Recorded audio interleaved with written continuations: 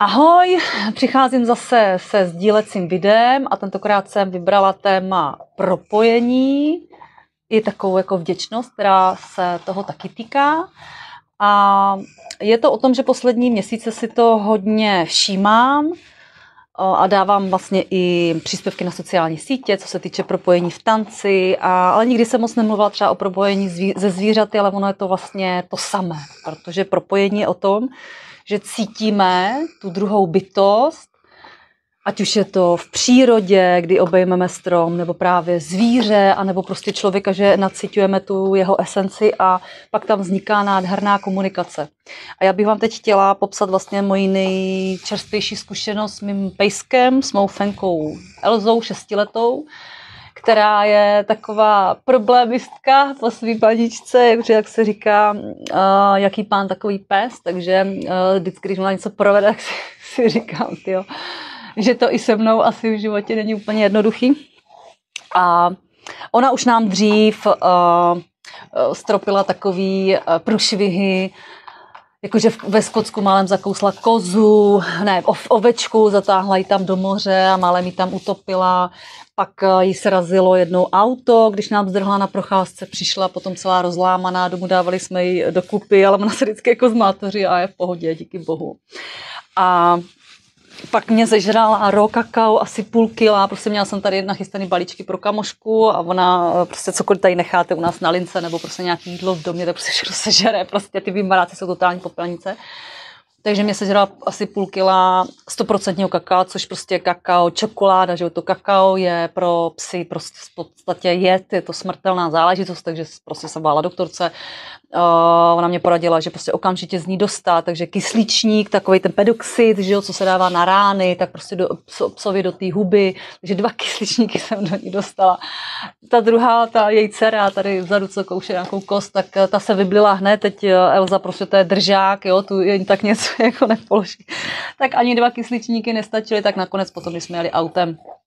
tak to vyklopila v těch zatáčkách, když jsem pořádně jako zatopila topení, takže se nám to podařilo, utekla hrobníkovi už po několikátý z lopaty a teď úplně čerstvá zkušenost, kdy já chodím s pejskama každý den běhat ráno na procházku a mám ráda svobodu, jak svou, tak i pro mý zvířata, takže je většinou nechávám volně na poli, když vidím, že tam nikdo jako není, že to nikoho neohrožuje. A ona mi tam co si jakoby zežrala, což je klasika, že ona tam furt jakoby něco žere, ale nikdy se nic nestalo, ale tentokrát se stalo to, že najednou začala napadat na zadní nohy, začala se úplně jako nekoordinovaně třást, z huby takový slintance a byla taková úplně jakoby malátná, no, takže to jsem jako si říkala, aha, tak to prostě bude asi otrava. No, zkrátím ten příběh. Okamžitě jsem ji na, na, naložila, jeli jsme do Třebíče na veterinu, tam se nám to podařilo se čtvrtý pokus, protože dopoledne málo kdo má otevřeno a nakonec měla teda otevřeno paní doktorka z ordinace pod Vlakáčem a teď nevím to jméno, napíšu to do titulku a moc si za to děkuju, na jí dala kapačku, prolila jí asi 2,5 litrem vlastně přímo do krve eh, vodou, potom jí dala nějaký ještě takový stlumující, protože ona byla, tak, ona byla taková jako, že se hejbala, ona je strašně akční, jo, po paničce zase, takže uh, ona prostě nechtěla chvilku být v klidu, teď do toho ten třás, do toho napadala za zadní nohy, který tahala jako za sebou, takže jako brutální stav. A prostě oni se tam nechali v té kleci, že dávají tu kapačku, teď ona jak tam furt chodila v té kleci, jak se to jako strhávala, no prostě náročně, takže oni potom dají nějaký jako aby se sklidnila. No vypadalo to s ní jako blbě, po asi třech, čtyřech hodinách, co tam byla, tak furt, furt jakoby se ten stav jako neměnil a nakonec to teda zvládla, že úplně se z toho jako dostala, už večer byla dobrá a druhý den byla dobrá. Ale proč to jako říkám? Za prvý teda hlídejte si psy, ať vám teď něco nesežerou, vůbec nedokážu vydedukovat, z čeho to bylo. Žrala tady nějakou z nějaký ryby, ale to ona žere normálně. Takže tady po okřížkách buď to nějaký eh, dobrý člověk, co nemá rád zvířata, dává nějaký vyloženě nástrahy, hlavně pro nás, co třeba ty psy mají na volno, tak vím, že jako jsme trnem v úku pro spoustu jakoby lidí, který tu svobodu mají v životě tak postavenou trošku jinak, a nebo prostě to byl nějaký jed eh, na lišky nebo něco takového, což se teď vím, že taky na jaře asi jako nasazuje, takže od té doby si je nechávám navodit, kouše fakt jako nepouštím, protože Elzička, ta má fakt 10 životů, už mi toho přežila hodně, a byla bych ráda, kdyby tady ještě se mnou zůstala, protože ač mi přináší do života prostě brutální jako zkoušky, tak já ji prostě úplně miluju a zbožňuju a chci, aby ještě tady se mnou jako zůstala nějakou dobu. No ale celý tady to téma směřuju k tomu propojení. A to je to, že já vždycky, když jsem se s ní dostala do tohohle jako složitýho stavu, tak mě pomohlo to, že jsem se jako na ní napojila. Jo. A to stačí třeba u těch psů se toho psa jenom dotknout. Někdy, i, někdy to můžete zvládnout, kdo jste už takový jako senzitivnější, senzibilnější, na dálku, jo, na člověka nebo na psa, napojit se na dálku, prostě napojit se na to srdce, jo, vždycky se dokážeme napojit na jakoby duši toho, ty, té bytosti, ať už člověka nebo zvířete, a tu duši nebo vlastně to srdce, ono tak jako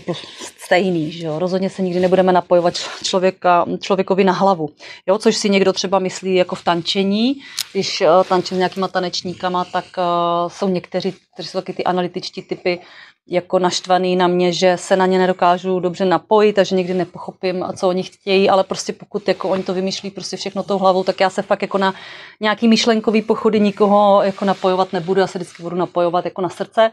Proto i to propojení vidím v tom tanci, že dokážu krásně se propojit jako s některýma tanečníkama a je to právě skrze ty duše a to srdce a kolikrát tam je zase minulý život a tak dále, je prostě komplexnější téma. Každopádně všichni jsme propojení uh, navzájem, všechny bytosti, ale s některými jsme propojeni více právě i skrze ty minulé životy anebo skrze tu nějakou jakoby hlubší osobní zkušenost. A mě hodně tady to propojení pomohlo právě tady v těch krizových situacích s Elzičkou nebo i třeba s kočičkama, když jim jakoby něco bylo, že já jsem se vždycky na ně jakoby napojila, že jsem třeba na ně dala ruce a nechala jsem uh, v sobě zobrazit vlastně ty jako pocity nebo projet sebou pocit, uh, jestli to jakoby je v pořádku, nebo co mám vlastně jakoby dělat. Jo, protože někdy právě, když zapojíme tu hlavu, tak moc jakoby začneme věci jako řešit a vlastně úplně vypneme tu svoji vlastní jako intuici, to napojení, to propojení mezi sebou,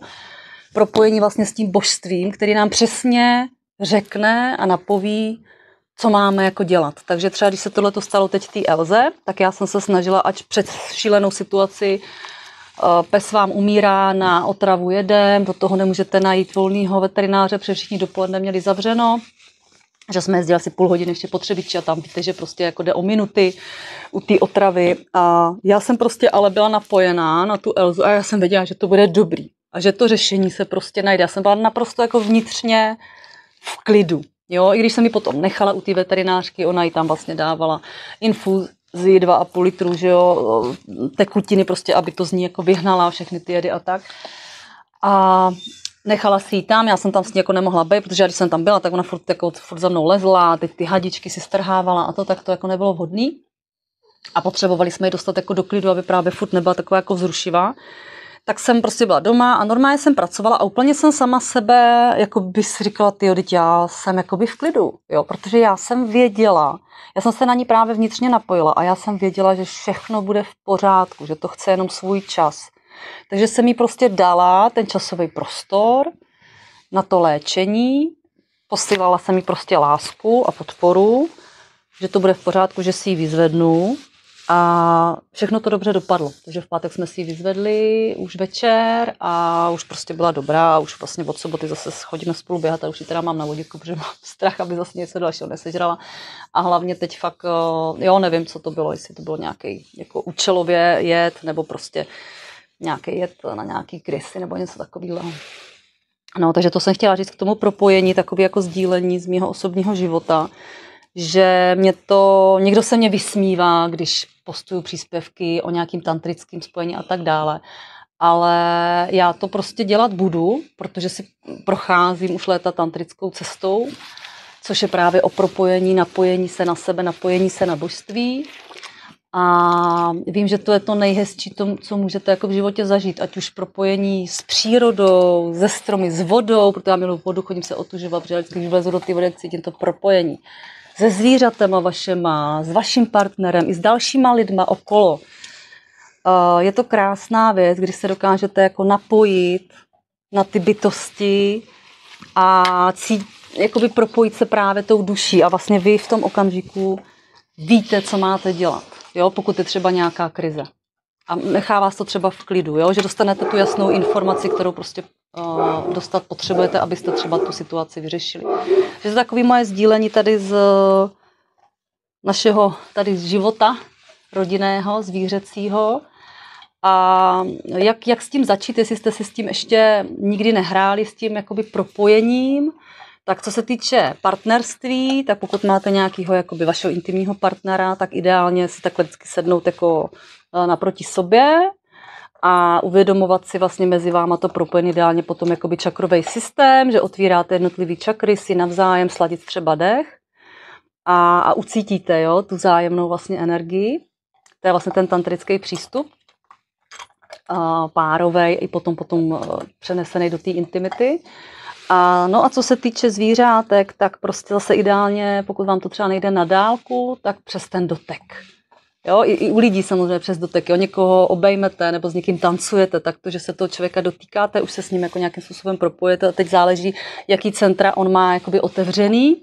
čakrový, jestli má otevřenou právě tu, tu duši, to srdce, jestli vás tam jako pustí, abyste se mohli vzájemně jít na sebe, anebo ne, nebo je v té hlavě a jenom přemýšlí nad těma krokama a co udělá špatně a co vy jste udělali špatně, tak to takovým člověkem se těžce jakoby propojuje, protože to je potom jakoby mysl a mysl nejsme my, my jsme duše, my nejsme prostě myšlenky, myšlenky přicházejí, odcházejí,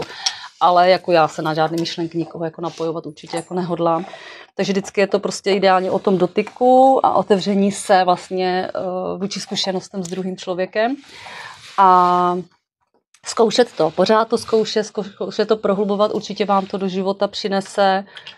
spoustu nových prožitků, nových podnětů, i vlastně takového jakoby sebevědomí v tom, v té posilování té vaší, toho šestého smyslu té intuice, jak se říká, jo? že máme ženy intuici, že máme šestý smysl. Já si myslím, že to máme všichni. Samozřejmě nežiju v mužském těle, nedokážu mluvit za muže, ale, ale, ale vnímám kolem sebe spoustu jako intuitivních mužů, kteří jakoby už se taky dokážou nacítit právě na ten prostor všeobjímající.